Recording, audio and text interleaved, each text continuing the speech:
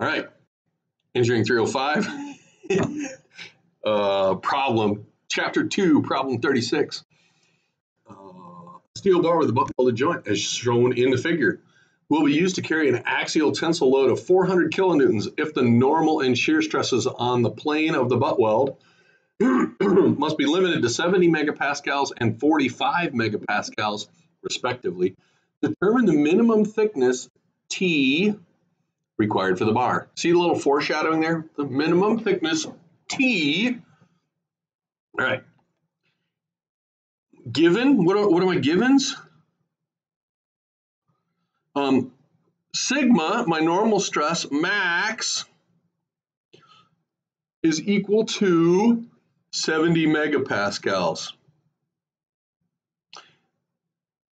And my shear max is equal to 45 megapascals. Okay? And I know there's a little bit of geometry there. There's a little bit of geometry there, and that I have this bar that I'm pulling, and that angle, yeah, that's it's it's the same as this angle, is 57 degrees. So we should, um, yep. Pulling, there's my figure. That's my figure, although it's really the same as their figure. I didn't gain a whole lot. Didn't gain a whole lot. 400 kilonewtons. All right. There's our problem.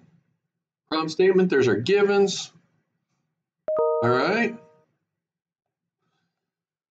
What do we know? How do we solve this? How do we attack this? Well, how do I relate my shear, uh, my normal stress and my shear stress to that? Well, from the study guide, I'm sure you got that in front of you. Here's that little section. My normal stress that I'm going to get is equal to the load divided by twice, uh, sorry, twice the area, 2a, times 1 plus cosine of 2 theta. Now, I want to be careful about theta.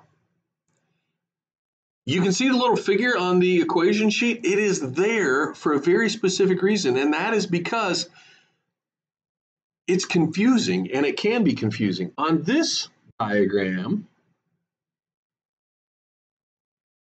there is x and there is y. And I want to draw in my normal and my tangential. Here is my normal. And this is the tangential. Now, two things come up. One, if I look at my figure, I, I maybe I could have done this lowercase, but I really don't do a lot of lowercase. Lowercase n for normal, lowercase t for thickness. Oh, no, I mean for tangential. Okay, start being careful. Start being very careful. This is why we can't just know the letters. We've got to know the details. Now, I want to relate what I've got going here to the figure that's on the screen. I'm going to redraw this x and y normal tangential and you can see the way that theta is defined is positive that way. So this theta is a negative angle.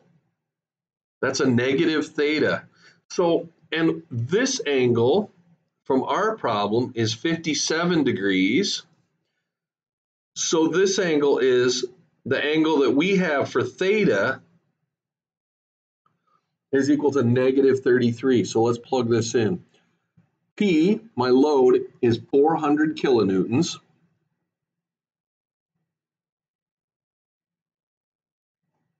Divided by twice the area. The area is going to be I'm going to write this over here. Well, I'm not. the area is the height times the depth or times the thickness. So that height is 100 millimeters. And then I've got a, a, a thickness, T. Oh, wait, tangential T. You got to keep these things straight. Got to keep them straight. Times 1 plus cosine of negative 66 degrees. Close paren. Need another one there. So would have caught that. You would have caught that if I was in the classroom. That has to be equal to the, the, the maximum that this can be is 70 megapascals. Now we've got a problem here in my units because this is newtons per meter squared and I've got millimeters here. So I've got to walk my units through carefully. But, but we can do that. We can walk our units through carefully. If I do that, if I walk my units through carefully, what we're going to see is that the thickness because that's an equal to, this will be an equal to, and I'm going to get 40.6. Oh, sorry, 40.2 millimeters. I'm looking ahead on my sheet. Don't use pen.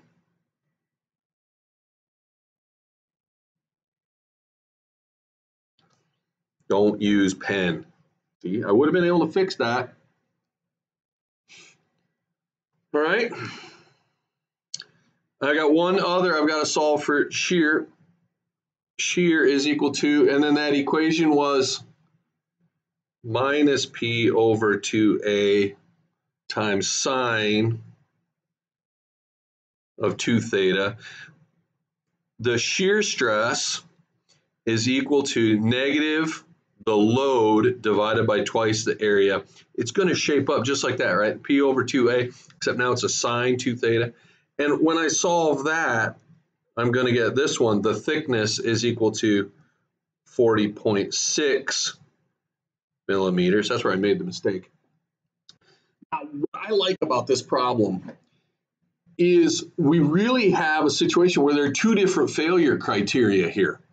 There are two different ways that this situation can go bad. It's it's like a lot of real problems. It's not just a textbook problem. It's a real problem that we need to take into account. This could happen or that could happen. And that's what is going on. We could either fail in normal stress or we could fail in our shear stress. And so we came up with answers that said the thickness, if I was going to have 70 megapascals, I need to be, I would be 40.2 millimeters thick. And if I want to keep my stress less than that, then my thickness, because those are opposite, this could be larger. Okay, and then I solved it again and said, well, but it could also fail in shear. And if it were going to fail in shear, then this. So I need to use, I need to be, it has to be this or bigger or this or bigger. So, so the answer is it needs to be 40.6 millimeters or larger is my answer. And that's why I like this problem. You're going to see that in a number of uh, a number of problems that we get throughout the rest of the semester. Hey, I'm going to put a twisting load on this and a pulling load on this. And how's it going to break? Well, you're going to have to uh, analyze the pulling load and you're going to have to analyze the twisting load. And they're separate. And you're going to have to put them back together and analyze that. And there may be two or three ways that we have to study this stuff. Sorry, didn't mean to have that all covered up. There's our equation. There's our solution. The rest of the semester, we'll have to look at those different ways and analyze them all. One situation, we may have to ask several different questions in order to get the answer. So this is our first exposure to that. There you go. Hope that, other than covering the end, I hope that was pretty good.